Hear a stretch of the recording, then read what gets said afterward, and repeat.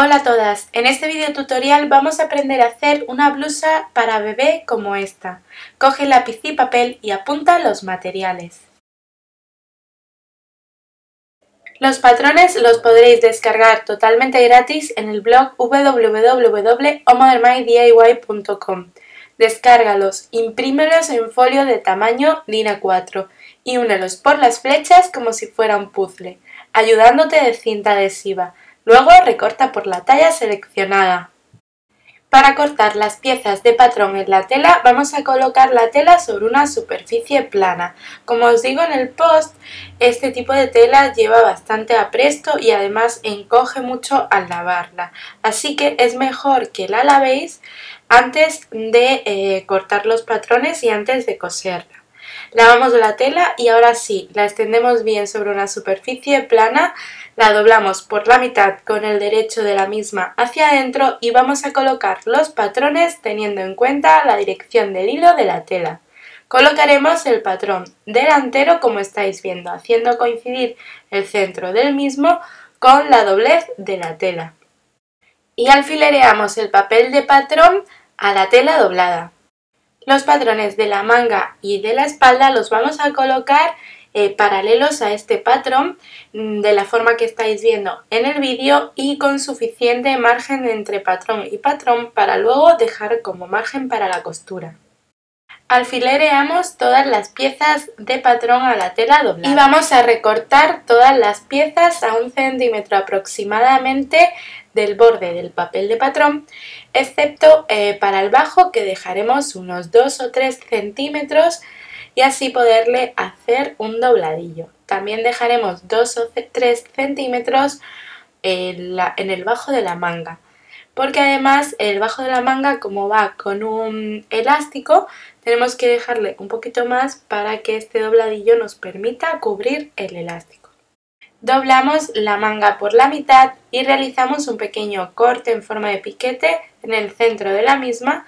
De esta forma nos va a servir como guía para luego centrarla. Y la espalda, que es la única que nos queda, la recortamos de la misma forma que el delantero, a un centímetro aproximadamente de todo su contorno, excepto el bajo, que le vamos a dejar la misma medida que hicimos para el delantero. Podéis utilizar la misma pieza de delantero para eh, marcar eh, cuánto bajo o, esos 2 o 3 centímetros que hemos dejado para el dobladillo. En la espalda vamos a hacer una serie de piquetes que nos va a servir luego para eh, hacer la solapa trasera, eh, los piquetes que nos vienen marcado, bueno, la solapa que nos viene marcada en el patrón. Y ahora sí, con los restos de tela vamos a cortar el bies que colocaremos en el cuello. El patrón del bies es este y tenemos que cortarlo de forma diagonal.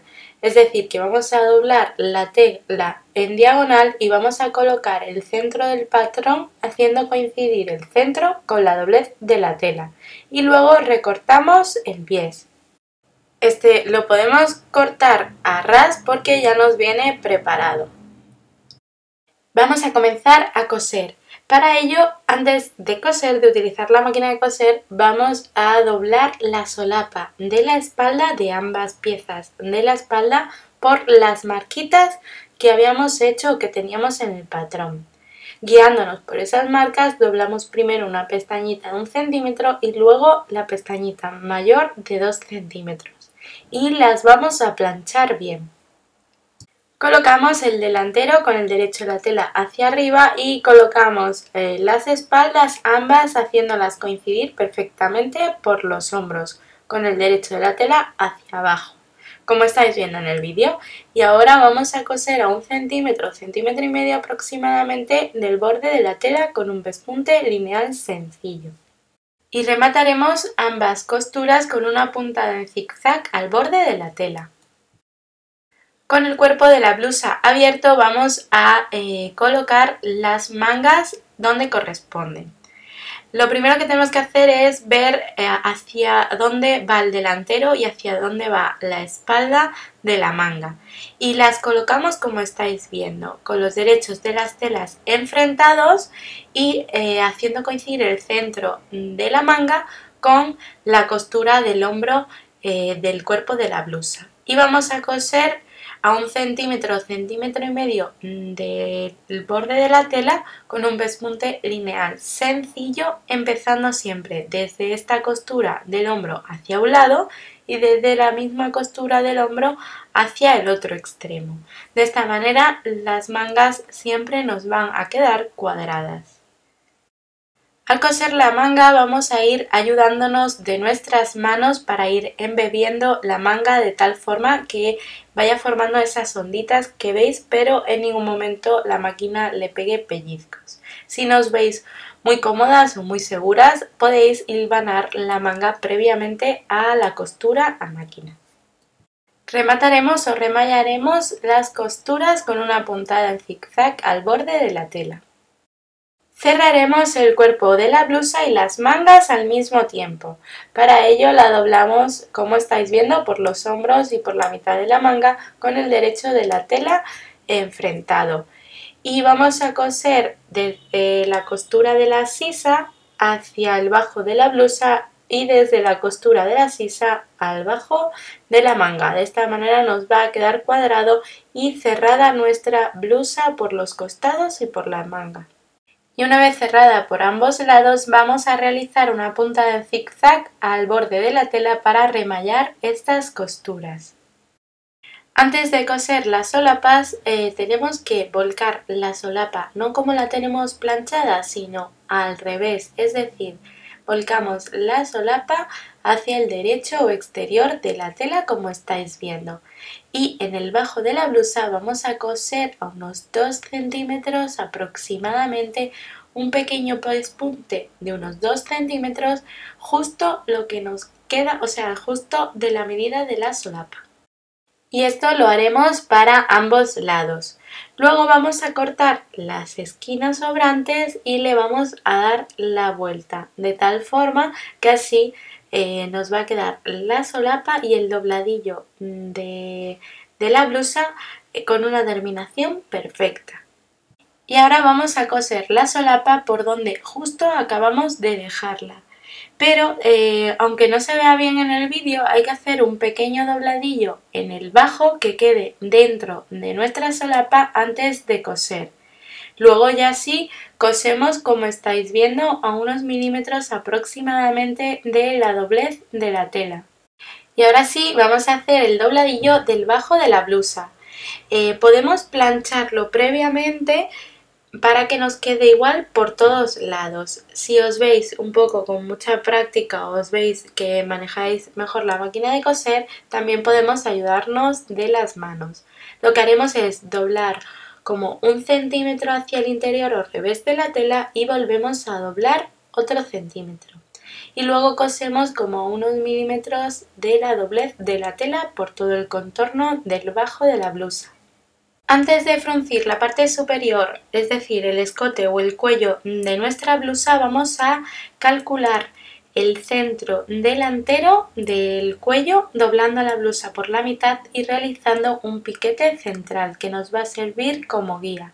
Luego frunciremos o rizaremos el cuello de la siguiente manera. Vamos a colocar la máquina de coser con la tensión más alta y la puntada más larga y vamos a hacer una costura en paralelo a medio centímetro aproximadamente del borde de la tela como estáis viendo. La vamos a hacer en tres partes. Primero vamos a hacer una de las espaldas, cortamos el hilo, vamos a hacer el delantero y luego hacemos la espalda que nos queda.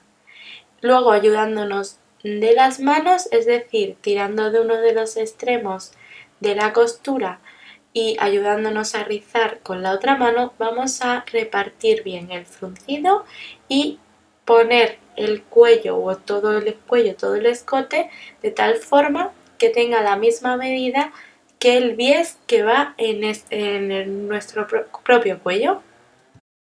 Calculamos el centro del patrón como estáis viendo realizando un piquete en el centro y vamos a hacerlo coincidir con el centro delantero, ese piquete que habíamos hecho previo al rizado. Y luego con el revés de la blusa, con el revés del cuerpo de la blusa hacia arriba y el bies del cuello con el derecho hacia abajo, vamos a ir colocando o ajustando el bies eh, al cuello o al escote de la blusa como estáis viendo. Tenéis que fijaros bien porque hemos dejado como un centímetro de bies que sobresale del extremo de la blusa, de ambos extremos de la blusa, para luego hacer un pequeño dobladillo en la terminación del mismo. Coseremos el bies al contorno del cuello a medio centímetro aproximadamente del borde de la tela o justo en la misma línea de costura que nos ha servido para hacer el fruncido del escote. Tenemos que tener en cuenta que esta costura no se debe ver en el exterior, por eso hay que coserla bien y el bies tiene que ir perfectamente alineado con todo el contorno del cuello. Volcaremos ahora sí el bies hacia el exterior de la blusa. Primero haremos un pequeño dobladillo en la terminación o el extremo de la misma. Para eso hemos dejado ese centímetro de más. Y luego eh, volcamos el bies hacia el exterior doblando primero medio centímetro y volviendo a doblar. Nos tiene que quedar de tal forma el bies eh, que tape la costura que acabamos de realizar y vamos a ir ayudándonos con las manos. Si no os veis pues muy hábiles en costura podéis planchar este paso previamente a la máquina de coser y seguro que os ayudará. Cuando lleguemos al final también haremos una terminación con un pequeño dobladillo en el bies.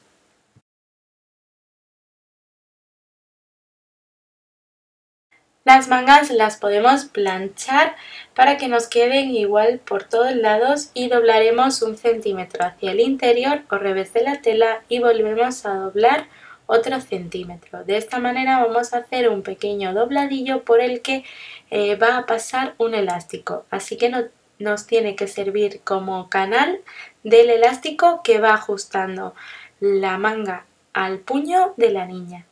Vamos a dejar un centímetro o centímetro y medio, mejor dos, sin coser para luego introducir el elástico. Recortamos dos trocitos de elástico para las mangas, más o menos eh, la medida del contorno de la manga menos 4 centímetros. Podemos calcularlos nosotros mismos también con la medida del puño o de la muñeca de eh, la niña en cuestión. Pues cortamos dos trocitos exactamente iguales y luego los vamos a introducir en el canal, de ese dobladillo que hemos hecho para meter el elástico. Nos ayudaremos de un imperdible, de un pasacintas o de una horquilla de pelo, lo que tengamos más a mano. Cosemos los extremos del elástico para cerrarlo y cerramos el agujerito que habíamos dejado para introducir el elástico. Con ayuda del patrón vamos a marcar dónde vamos a realizar los ojales. No os asustéis porque esto es un lápiz al agua, un marcador al agua y se va fácilmente con la plancha a vapor o con el agua. Luego vamos a hacer los ojales donde hemos marcado.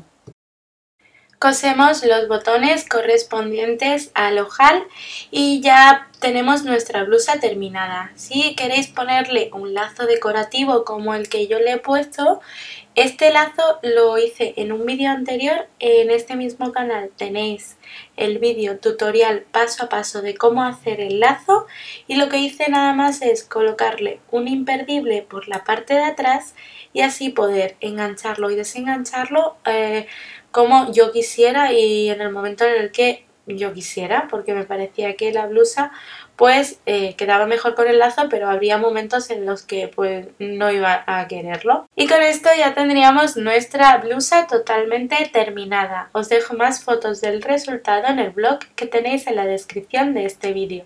Y si os gusta la costura, el do it yourself, haceros vuestra propia ropa y la de vuestros pequeños, no os perdáis este canal de YouTube lleno de patrones y tutoriales gratis.